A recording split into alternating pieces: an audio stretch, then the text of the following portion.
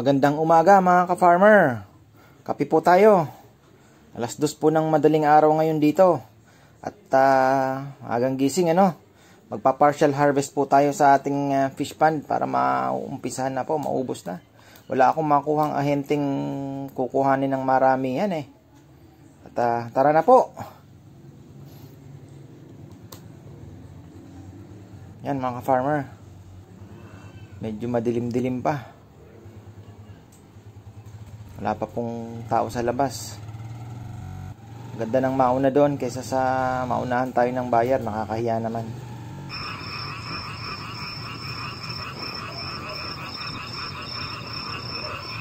Normally po dati alas uh, hapon kami nagha-harvest eh. Kaya lang ngayon gawa ng pahirapan sa buyer. Ang nakuha kong buyer eh kukunin daw ng patingi-tingi. Ngayon daw kukuha lang muna ng 200 kilo. Tapos baka bukas sana marami-rami na makapagsama siya at makita daw yung mga isda. Marami nang sasama. Mga dito lang po yan sa palengke. Yan, silipin po muna natin ang ating mga isda. Sigurado mayroon na naman lumutang. Maka po, ayan. Kaya gusto ko na pong ma-harvest eh. Kahapon na 150 kilo siguro ang aming binaon. Pero hopefully sana paganda na kasi yan pakunti-kunti naman po ang ano eh gradual naman yung kanyang pag-recover. yan, set up muna natin ang ilaw. Tapos eh kuha tayo ng crates. Yan mga ka-farmer, shoutout po muna tayo sa ating mga mga katropa. Joseph uh, Daras, OFW ng Abu Dhabi. Julius Olediana, Tol, ano, kumusta? Nakalabas ka na ba sa QC? Na-lockdown po siya eh. Uh, Jimmy Dolar from Bicol, Sorsogon and uh, Josie Sinarosa ng Daet, Camarines Norte. Kumusta ka mo dyan, hermano, hermana? Uh, si Moto Rags at uh, Metong Amalakas sa Gulisa keng Kabalenta mo. Recto Carlos keng Siena, Italy. At uh, si Nadsky Slovensky from Bataan. Yan mga ka-farmer at uh, yan po ang nakikita niyo yung buhay farmer. Kailangan ng sipag at tiyaga talaga. Pero basta't nag enjoy po, masaya naman eh. Yan, ikot po muna tayo mga ka-farmer. Habang hinihintay natin yung buyer. Ikot-ikot tayo at uh, kita kung ilan mga lumutang. Pero bukas to, marami-rami to. Hindi ganun karami kaysa kahapon. Marami pa din talaga yung iba po dyan luma na. Nakarsubsub sa putik. Lulutang na lang sila pagka medyo ano na. Talagang pabulok na. Ayan na nandiyan na pala sila. Ayan. Ayan po. Medyo mahirap po sa umpisa kasi yan po yung pukot oh.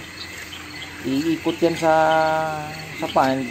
Problema po yung fish pan medyo malalim. Hindi ko naman po mababaan. Gawa ng konti lang naman ang kukunin nila. Baka marami-rami pang isda Kandamatay naman pag uminit ng gusto. Eh, hindi ko din po mapababaan yan. Sabi niya, okay lang naman daw. Doon muna sila sa bandang mababaw. Iikot. Ayan, nilalatag na po nila. Medyo mahirap po sa umpisa kasi parang sineset up mo yung ano eh. Yung pukot. Tatatlo lang sila. Mahamalaki pa naman yung pukot na nakuha. Pero malit lang naman po yung fish pan kaya okay lang. Diskarte lang talaga ang kailangan. Ayan. Nila na po nila yan ang daming patay mga farmer oh.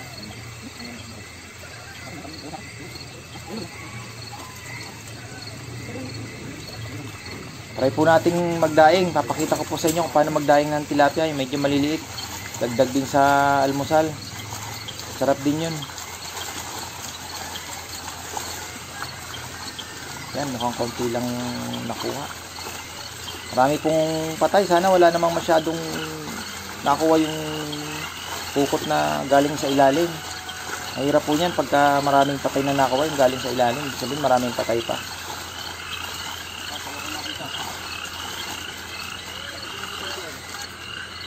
Yan o. Oh. Patay.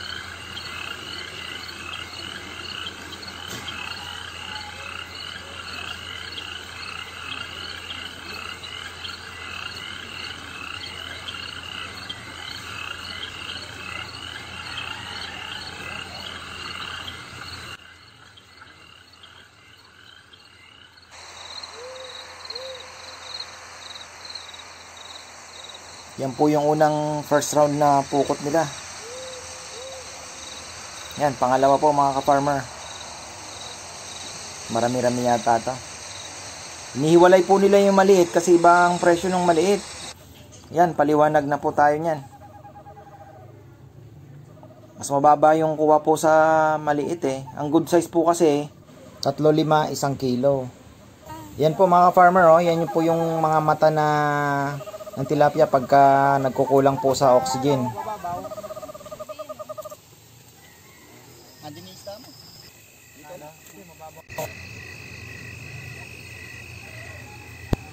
Ito po, last na pukot na lang to kasi maliwanag na po ang araw. Yung may naghihintay na po sa kanila.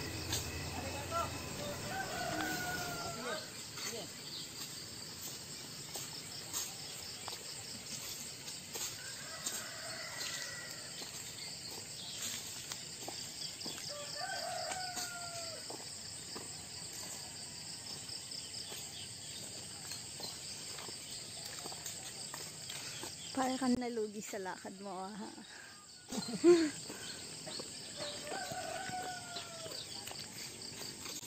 Hanggang saan kayo yan? Ikot na siya, no? Ah, hindi na naiikutan yun doon sa ano, no? Oo. Lalim na. Buti na lang malalim ang ating fish pond at ah, may matitira pa din isda.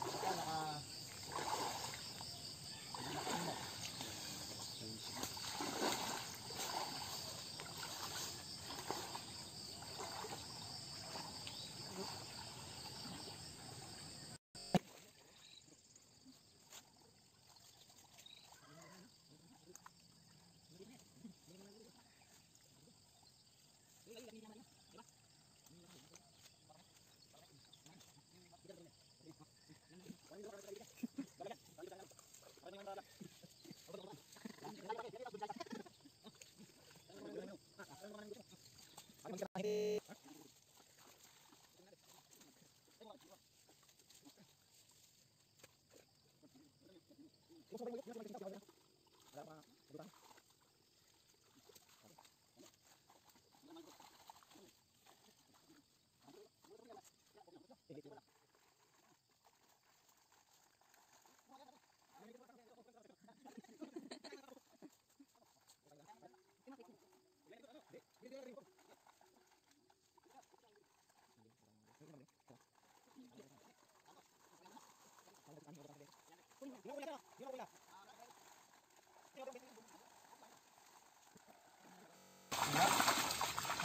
konti no?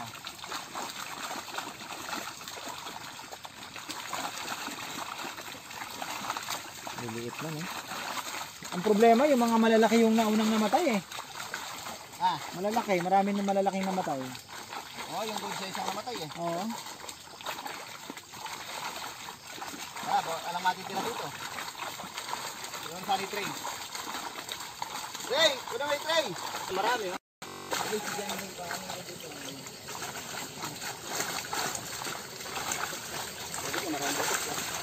Saan? Na, ang dami. Oh, ngayon, konti na lang.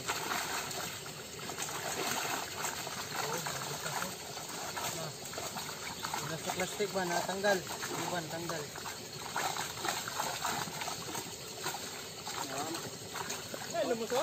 Oh, lumusot na. Lumusot na iba.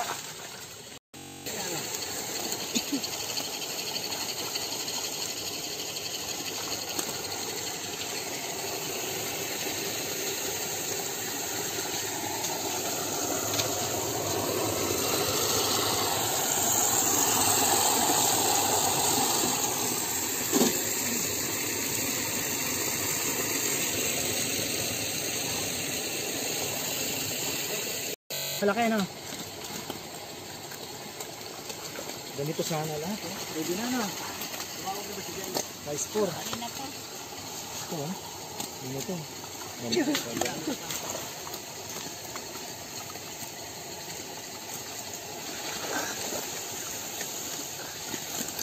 Yeah. Saglit lang. Ang maliliit. Mga kuya. Yung maliliit ang natira.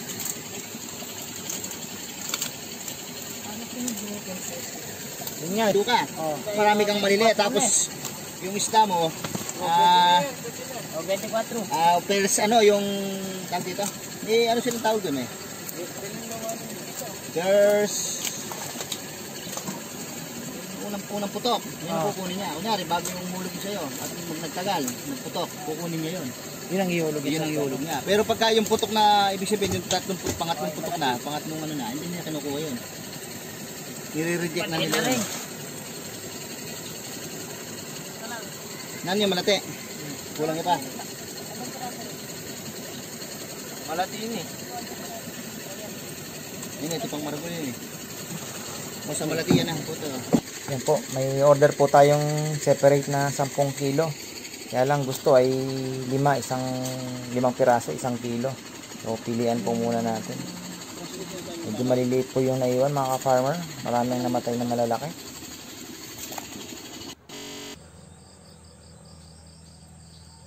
Ayan po mga ka-farmer, inabot na tayo ng umaga.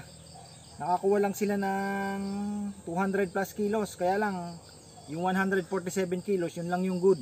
Kinuha sa 75. Tapos yung 73, maliliit, kinuha lang ng 35. Bali, ganun daw talaga presyohan at uh, wala tayong magagawa.